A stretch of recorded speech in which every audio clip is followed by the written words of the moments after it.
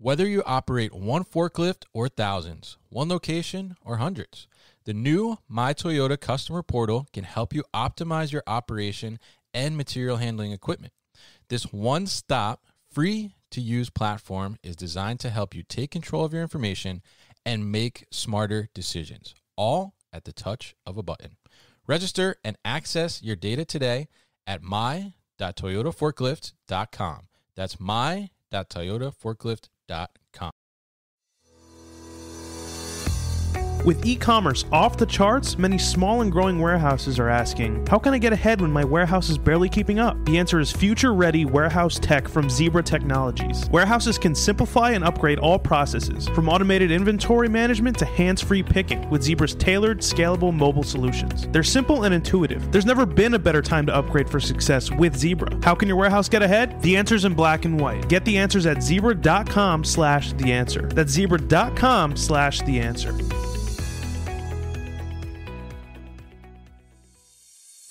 Businesses are retooling fulfillment operations, from warehouses to omnichannel, to meet new demand amid unprecedented labor shortages. 3PLs, retailers, B2B distributors, and others are turning to flexible fulfillment solutions like Six River Systems to adapt and scale. Six River Systems Fulfillment Execution System is an integrated solution that combines intelligent, cloud based software and automation, including its autonomous mobile robot, AMR Chuck. No costly or disruptive infrastructure changes, fast and easy associate training, and integrations with other warehouse execution solutions allow operations to meet labor challenges, increase efficiency, and enhance customer engagement. Go to www.sixriver.com to learn more. Go to www.the6river.com to learn more.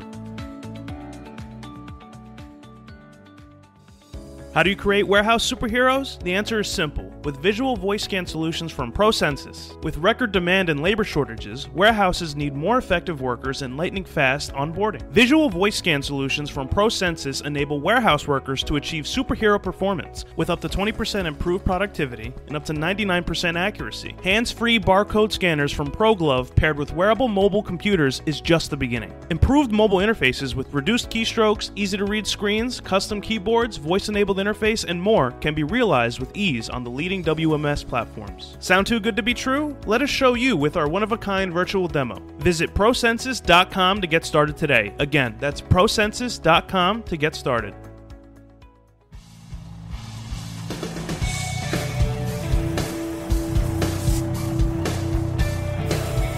The New Warehouse Podcast, hosted by Kevin Lawton, is your source for insights and ideas from the distribution, transportation, and logistics industry. A new episode every Monday morning brings you the latest from industry experts and thought leaders. And now, here's Kevin.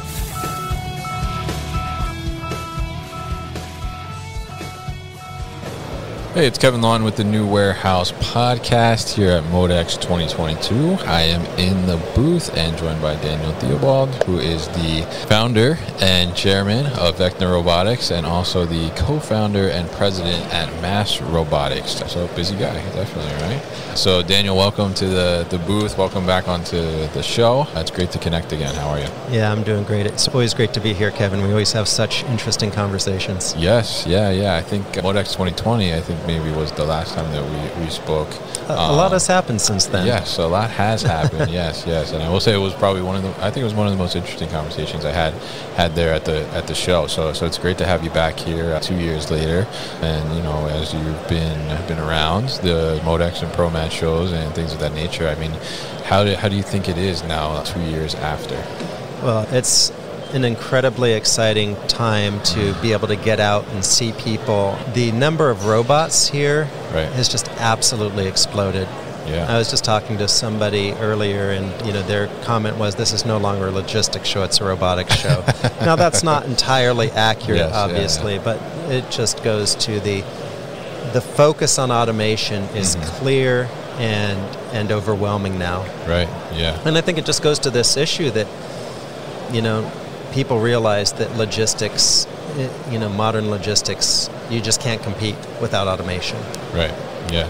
Yeah, and I think that's definitely the, the case. And you know, you look at so many of the things that have been going on in the past two years, especially in our industry. You know, automation and, robotics have kind of almost for, for some organizations, some companies become a necessity just to just to survive and, and keep up with the demand that they're experiencing. So, so why don't you give us just a, a little brief overview of Vecna? We'll talk about Vecna first, and then we'll get into some mass robotic stuff as well. Yeah, sounds great. The show today, we're actually launching a new product that we're very excited about the CPJ Cobot, Cobot Pallet Jack. Okay. You know, Vecna Robotics has unambiguously the, the highest performing Mhm. automated forklift in the industry. Right. We operate at speeds of three meters per second. We've got an incredible safety system that allows it to drive around obstacles very Right. quickly rather than getting stopped. You know, our pallet identification, spearing, pickup is superior to anything else out there. Right. So now that we've really nailed that part of the, that segment, we've now actually gone down a size Mm-hmm. To the Cobot pallet jack to really address sort of some of the in-between workflows Okay. that don't necessarily deserve a full forklift, Right. but they are ripe for automation. Mm. And the reason we call it Cobot pallet jack is Right. because it, it has much more of a partnership with the warehouse worker Okay. in a real way, right? So think of it this way: this a, swarm of these pallet jacks, right? And a pallet jack is sort of a very small Mm-hmm. Right. device, but it can move full-size pallets. Yes. Yeah. So this pallet jack uh, is fully autonomous, Mm-hmm. and a swarm of them basically show up where they're needed, and then the human worker can do the hard part of dealing with problems when you're loading and unloading a truck, or when Right. you're dealing with material maybe not so well positioned on the pallet, whatever Okay. it is, right? Yeah. There, there are always problems that humans have to deal with there. Right. So the swarm of pallet jacks just shows up. Human spears one, sends its on away on its way. Spears Mm-hmm. the next one, sends its send. When I say spear, actually, I, I need to use the right the right terminology for lay people. Yeah. When the when the human worker takes the pallet jack and loads the pallet onto it, we call it spearing. You're spearing the pallet. Yes. So they take that pallet jack, they pick up the pallet, Mm-hmm. and then they press a button telling it where it needs to go, and that pallet jack just takes the pallet away. Got it. Immediately, the next pallet jack is there waiting for the human. They grab it, Mm. they pick up the next pallet with it, they send it on its way. Okay. So, what this allows is for a human worker that used to have to go pick up the one pallet Mm-hmm. and then walk it or drive it all the way across the warehouse, Right. come all the way back, then get the next one. Mm. Now we've turned that one worker into 10 workers, Right. right? Because one person can now do the work of 10. And it's not that they're going to be nine less jobs. Yeah. That's not the world that we're in. Right. That means that that, that organization can actually keep up with demand now. Yeah. Absolutely. So that's really exciting. It's very, very low cost, robot as a service, $2,000 a month, all in. Oh wow. The ROI is immediate, Yeah. and it's uh, just uh, really exciting from the point of view of now organizations that are maybe not the biggest retailers and Right. manufacturers in the world can get into the automation game. Yeah. Yeah. So that's one of the really exciting things that we've launched here at Modex. We've got another really exciting concept product that we are showing. Oh, concept. Okay. Yeah, Yeah. kind of our concept car. Yeah. and this is what we call the Vecna Omni. Okay. This is a high reach, fully automated Mm. forklift that can basically go into an eight foot or larger aisle, Okay. and that's small. Yeah. A eight foot width is very small, Mm-hmm. And it has a double deep reach. So it's basically able Oh, to yeah. turn any standard warehouse Mm-hmm. into a fully automated pallet automated storage and retrieval system or Right. ASRS. Yeah. So taking like existing racking setup and, and making it automated. Yeah. Yeah, that's right. And, Mm-hmm. and ASRSs are great, but the infrastructure costs and the time to set it up is is a real impediment for most organizations. Mm-hmm. Yeah. Absolutely. Right, you've got what what they call a brownfield site, Mhm. which is you know a site that already has racking in it or Yeah, whatever. existing, now yeah. you can take that existing warehouse and bring in this new technology, and essentially get all the benefits of an ASRS Mm-hmm. at a very very low cost price point. Right. Now, this is a concept vehicle. It's a fully functional prototype, but we're here at Modex showing it to get Yeah. feedback on whether or not there is interest enough in this Mm-hmm. for us to take it to full production in 2023. Right. And I have to tell you, the the Yeah. What's what's been, what's the feedback? It's been over the top. I'm sure. Yeah. Yeah, we're actually we're actually getting people that are very interested in pre-orders. You know, Wow, sort of staking out their place in line. Yeah. Yeah. because they said this is the problem that no one else has been able to solve so far. Yeah, yeah. So safe to say that it's going to go to production. It's it. Uh, I would say chances are very good Okay, that sounds it's like going it. to go to production. But yeah, I won't make any any public predictions uh, or any public commitments at Okay. this point because we need we need to go back. We need to look at the Yeah, data. Right, you have to be disciplined about this stuff. You don't Right. want to just chase something. But it's interesting because we've been looking at this space for a long, long time. Mm-hmm. Uh, you know, our our goal in material handling is to be able to handle all of your pallet needs Right. from, you know, from the loading dock Mm-hmm. all the way through to storage, replen, order picking, case picking, etc. Yeah. The the whole entire gamut. And now we've got this entire range of vehicles. You know, we've always had a, a wide range of vehicles Right. To address a number of different use cases, Mm-hmm. but you know, at this show, we're now showing the entire range, end to end, that will allow customers to meet all of their pallet handling needs with uh, with Vecna solutions. Yeah, yeah, and I think that's a great thing. And obviously, you know, the the double reach automated is a huge thing as well. You know, as you, you mentioned taking that existing racking system and, and making it automated. I think it is a huge thing. It's going to be a, a game changer for those smaller businesses that can't really make the huge investments in ASRS systems, like you said. It's really going to change a lot of things for them. But this this Cobot pallet jack is, is pretty amazing. I mean, two thousand dollars a month. I mean, that's like you know, you do a rental forklift. I mean, you're you're right in competition there, pretty much. Uh, That's right. So That's right. yeah, so I, I mean that's it's pretty remarkable, and and so now the when they load the pallet or they, they spear the pallet, right? You guys are Spear it. creating new Yeah, it new sounds jargon kinda here, gruesome, right? doesn't it? Yeah. Go Um, spear that pallet. so when you spear the pallet, now the the I guess the collaborative part comes in at that point, right? So the operator is the one that's actually making sure that it get it gets engaged with the pallet, and then it presses the button, I guess, and sends it on Mm-hmm. yeah, its it tells way. it where to go. I mean, and it can be in. It's all all of these products are integrated with our Right. whole pivotal software suite. Yes, yeah, So from the smallest robot to the largest robot, Mm-hmm. there is this whole range of tools where you know it can just be the robot sort of going from point A to point B. Mm-hmm. You can have the full facility mapped, and the robot can go anywhere it needs to. yeah. If the robot needs help, it's able to reach out to our pivotal command center. Mm-hmm. This is how we have the industry leading uptime for our robots. We have 99.9% uptime for the robots, and that's because That's good. yeah, our, our robot software is amazing. Yeah. And if the robot runs into a situation it can't handle on its own, it knows it, right? It's Mm-hmm. Yeah. smart enough to know when it needs help, and then it knows how to ask for help. Yeah.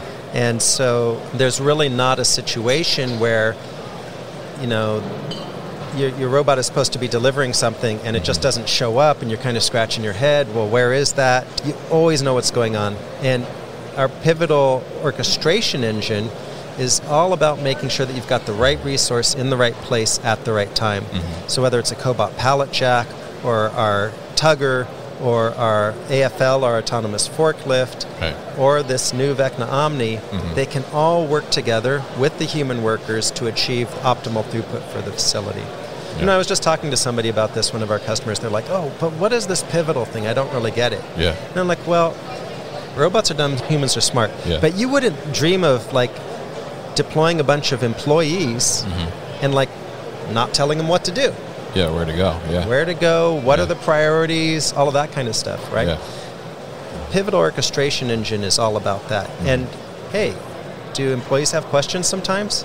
Do they need to know how to ask for help and who to ask for help from? Yes. Mm-hmm. Yeah. So we just provide all of that for the robots as well, and that's what that's what really maximizes the productivity of the team. Yeah. And the team being the humans and the robots, Mm-hmm. the manually operated equipment, the factory equipment, and the conveyor belts, and all of that all have to work together. It's one big system Yeah. so yeah, we're really excited about being able to offer that end-to-end suite of solutions. But Mm-hmm. the most important thing isn't the hardware. The most important thing is the software and the planning itself, that goes yeah. behind all of it. We were able to show with one customer that when when our pivot orchestration engine Mm-hmm. Is helping to coordinate the activities of not just the robots but the Mm-hmm. human workers as well, Yeah. we were able to achieve two times throughput. Mm-hmm. Right, so we were able to get twice the amount of material through that facility Wow. just by having better coordination between the humans and the robots. And it's not not that there was a bad throughput before. Right, It's yeah. not like we're not, not we're, we're not talking about like oh it was terrible and Yeah, yeah, no it was like they had good throughput. yeah. The reason for that is perhaps not obvious, but it's that for a whole facility, at any one time, there is only one mm-hmm. bottleneck Yeah. that's keeping that facility from moving more material. Right. And our pivotal orchestration engine is all about figuring out where that bottleneck is mm. and applying resources mm. to eliminate that bottleneck in real time Yeah. Anyway, so yeah, we're super excited. We've got all the right, we've got all the right robots. We've got the right support structure. We've got the pivotal orchestration engine. So we are just thrilled to be able to offer this sort of, I think, really comprehensive solution that n- nobody else has. And uh, you know, we would invite anyone to come visit some of our customers and see it in action because it is impressive. Yeah, absolutely. And it sounds impressive. And, and obviously, you know, you just as you said, I was going to actually say it before you said, but it's very comprehensive, and you have this ro- robust suite now of not only the the software as you mentioned, which is which is leading the way, and also the the hardware aspect as well. But you know, the the software aspect, you know, you guys are doing such a great job with the with the software. You know, you know, one would think that you know you'd be very interested in, in keeping that maybe somewhat of a secret internally and, and using that as a, your competitive advantage. But but you are actually, as we mentioned early in the show, you know, a co-founder and, and president at Mass Robotics, and you've actually taken a lot of your, your knowledge and and shared it with the industry, and you're actually looking to, to bring what may be considered competitors in, in the industry together, so that you guys Yeah. can work together. So, talk to us a little bit about you know how that kind of idea came about and, and, and what you guys are doing with Mass Robotics. Yeah, it's a great question, Kevin. And this is something I'm really passionate about. Right. This industry, robotics, mm-hmm. material handling, AMRs, uh, is, is really young. Right. And if you look at any other new industry, they mm-hmm. always go through this very tumultuous period where people aren't working together. Mm-hmm. You've got a you've got a handful of different organizations that all think they're going to be the one that owns everything. Yeah. That's not the way mature industries work. Right? We need to get together as an industry and have the appropriate amount of pre-competitive collaboration to solve problems that are common in the industry. Yeah. Right now, a few years ago, when I would start talking about interoperability, people would just roll their eyes. They're like, "Well, there's, you know, no robot, robots out there anyway. Why would we need to have robots interacting with each mm, other?" Right. They're not doing that anymore. Yeah. And the the reality is that we're doing this industry, we're doing our customers a huge disservice if we don't get ourselves organized enough to solve these problems for them, right? As an industry, we need to make it easy for them to buy. Yeah. We need to remove obstacles. Right. And one of those big obstacles is well, I can't deploy my floor cleaning robot and my pallet moving robots Mm-hmm. because you know they're gonna they're gonna end up you know a floor cleaning robot going this way and a pallet moving robot going this way Yeah. and your pallet moving robot's going to get cleaned. and everybody yeah, or whatever right and it- it's just going to be a nightmare Yeah. so it's a very simple problem to solve if you have interoperability Yeah. right the mass robotics interoperability standard is about a super simple like i can't emphasize how simple it is information sharing api Mm-hmm. Yeah. or, or information sharing standard where hey just tell me what you're doing Mm-hmm. kevin i'm going to tell you what i'm doing Right. and now you can make more intelligent decisions about how you should do your thing, and I can make more intelligent decisions about how I should do my thing. Yeah. But if you make it so nobody can communicate, then you run into problems. Yeah. So it's been actually pretty exciting because the number of robot companies that have implemented the Mass Robotics AMR standard is, is Right. Very, very high. Talked to a number of very large companies today that said, yep, they're actually going around asking everybody, Yeah. are you Mass Robotics AMR interop compliant? And if they say Wow. no, they said we're just walking away. Wow. Wow. now I said, I, I told them, impactful. yeah. I said, I said, don't just walk away. Yeah. I said, t- tell them, and I, I gave them a handful of the Yeah, of yeah. the Mass Robotics AMR interop stickers, and I said, look, they can go on the website, they can Mm-hmm. follow the instructions, and they can be Mass Robotics AMR interop compliant, Yeah. literally in a matter of hours. Yeah. It is that easy to do it. Wow. But if we all do it, that starts this virtuous cycle Mm-hmm. of, sh- of collaborating, of sharing information. And now you're going to do better, we're going to do better, the customer is going to be less hesitant to buy the things that they need to buy. Mm-hmm. It's just good for the entire industry.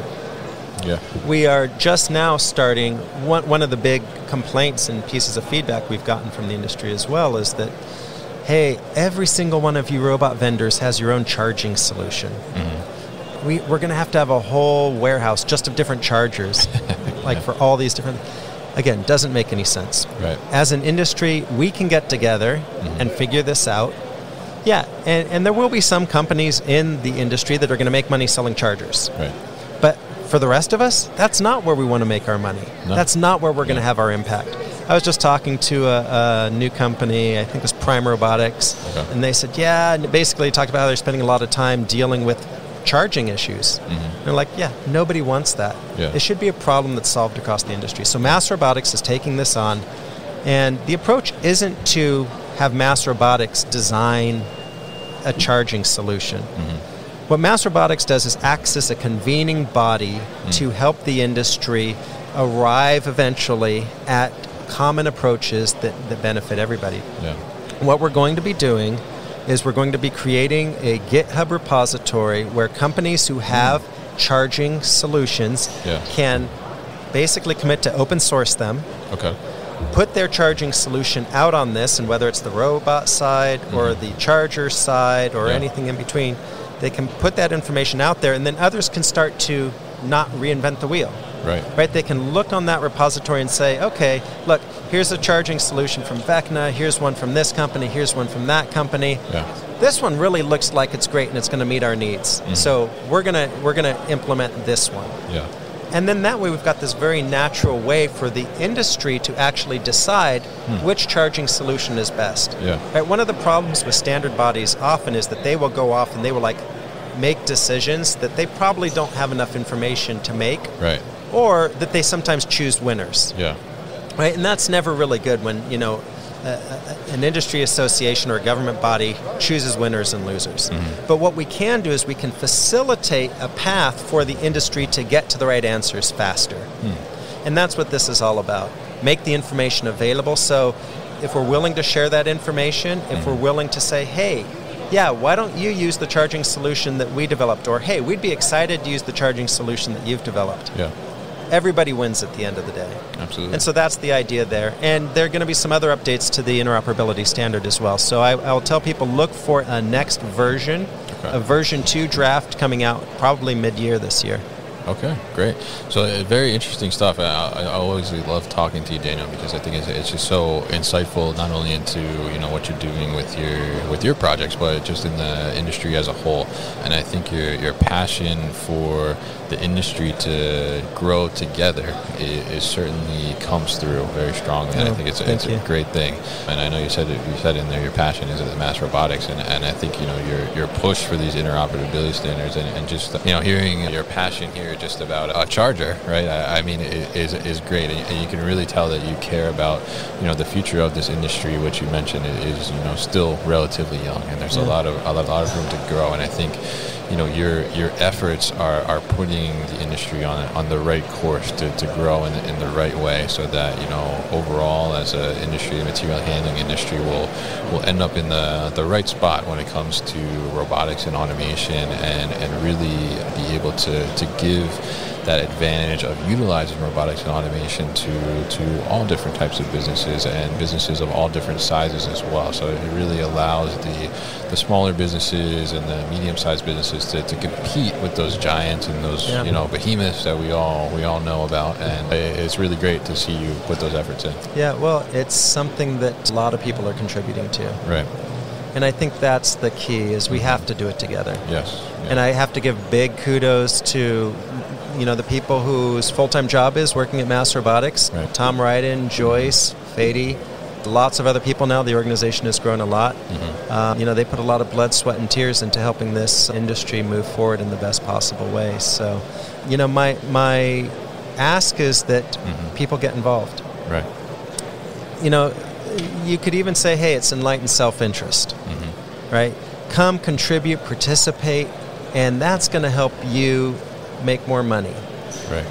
Frankly, that's not the reason I do it. I do it Mhm. because I've spent years trying to solve these problems for my own robotics company, Yeah. and I just feel like there's no need for everybody to struggle that Yeah. much, Mm-hmm. right?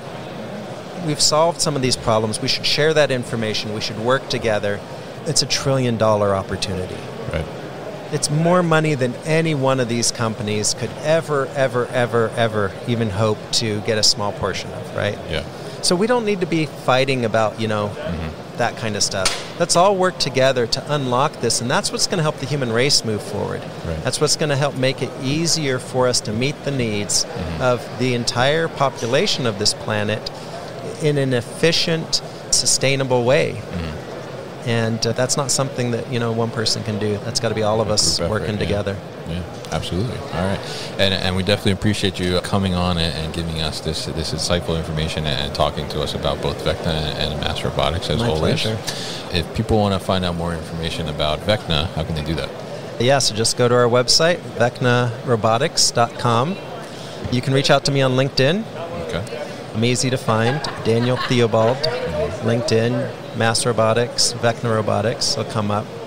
And I'm always happy to help in any way I can. Mm-hmm. A Mass Robotics website for the other Yeah. stuff. Yep. But yeah, you know, I encourage people to reach out. If you have questions, anything I can help you with, I, I probably know somebody that can help you if, if I don't have an answer. Right. And yeah, and love to love to love to connect. All right, great. We'll put all that information at thenewwarehouse.com as well. So, Daniel, thank you once again for coming by the booth and, and chatting with us, and hope you enjoy the, the rest of the show. You've been listening to the New Warehouse Podcast with Kevin Lawton. Subscribe and check us out online at thenewwarehouse.com.